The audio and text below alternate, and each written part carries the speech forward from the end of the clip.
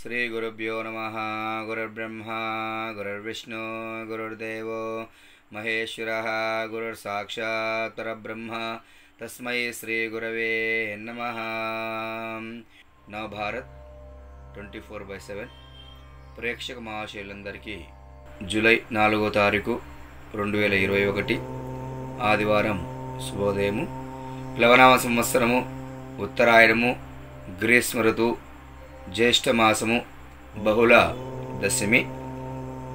రాత్రి ఎనిమిది గంటల నలభై రెండు నిమిషముల వరకు ఉంటుంది.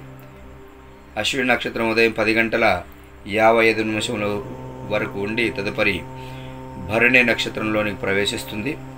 ఈరోజు అమృత గడియలు లేవు.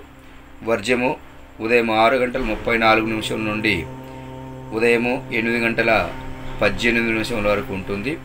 సూర్యోదయము ఉదయము ఐదు గంటల ముప్పై నాలుగు నిమిషములు సూర్యాస్తమయము సాయంత్రము ఆరు గంటల ముప్పై మూడు నిమిషములు రావుకాలము సాయంత్రం నాలుగు గంటల ముప్పై నిమిషముల నుండి సాయంత్రం ఆరు గంటల వరకు ఉంటుంది. దుర్ముహూర్తము సాయంత్రం నాలుగు గంటల యాభై రెండు నిమిషముల నుండి సాయంత్రం ఐదు గంటల నలభై నాలుగు నిమిషముల వరకు ఉంటుంది. గుళిక కాలము మధ్యాహ్నం మూడు గంటల నుండి మధ్యాహ్నం నాలుగు గంటల ముప్పై నిమిషముల వరకు ఉంటుంది. యమగండము మధ్యాహ్నం పన్నెండు గంటల నుండి మధ్యాహ్నం ఒంటి గంట ముప్పై నిమిషముల వరకు ఉంటుంది. విశేషంగా ఈరోజు ఘాతవారము అయినటువంటి రాశి మేషరాశి. మేషరాశి వారు ఈ రోజున ఇలాంటి కొత్త పనులు చేయకుండా ఉంటే బాగా ఉంటుంది. అలాగే నవగ్రహ దేవతలలో ఈరోజు సూర్యగ్రహానికి అత్యంత ప్రీతికరమైన రోజు ఈరోజు. సూర్యగ్రహాన్ని ప్రీతికరంగా కిలోంబావు చొప్పున సద్బ్రాహ్మణునికి ఎరుపు రంగు వస్త్రంలో గోధుమల దానం చేయడం వలన ఆత్మ పీడోపశాంతయే ఆత్మకు ప్రశాంతత లభిస్తుంది. అలాగే సూర్యునికి ప్రీతికరంగా కెంపురత్నం ధరించిన ఎడల విశేషమైన ఫలితము సూర్యుని ద్వారా పొందవచ్చును. అలాగే సూర్యుడు అధిపతి అయినటువంటి రాశి సింహరాశి.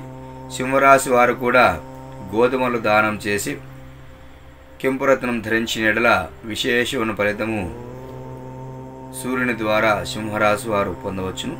సింహరాశి వారు కలిగుట్టు వృక్షను పూజించిన ఎడల మొక్కను భూమిలో పాతడం వల్ల మొక్కకు నీటిని ధారలాగపోయడం వల్ల విశేషమైన ఫలితము సూర్యుని ద్వారా పొందవచ్చును.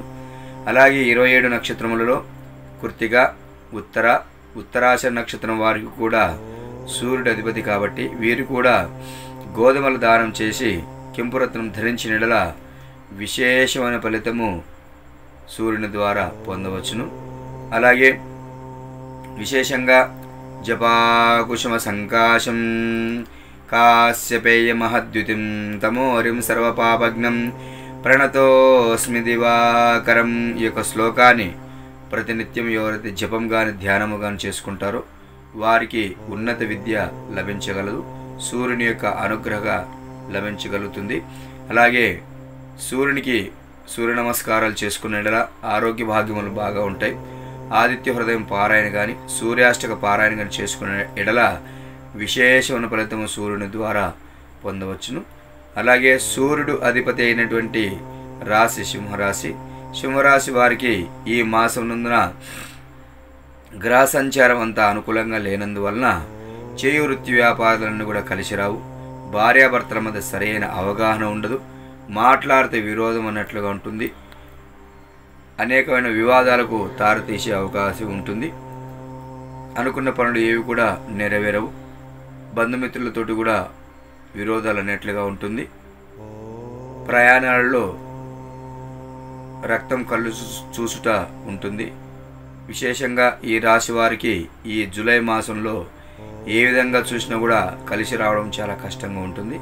కాబట్టి పైన చెప్పినటువంటి ఈ యొక్క సమస్యలకన్నీ కూడా పరిష్కారము వెతుక్కొని తరించవలసిందిగా తెలియజేస్తున్నాము. ఎవరికి ఎలాంటి సమస్యలు ఉన్నా కూడా ఫోన్ చేసి తెలుసుకోగలరని మా యొక్క విన్నపి. జయ శ్రీమన్నారాయణ ఓ నమ శివాయ.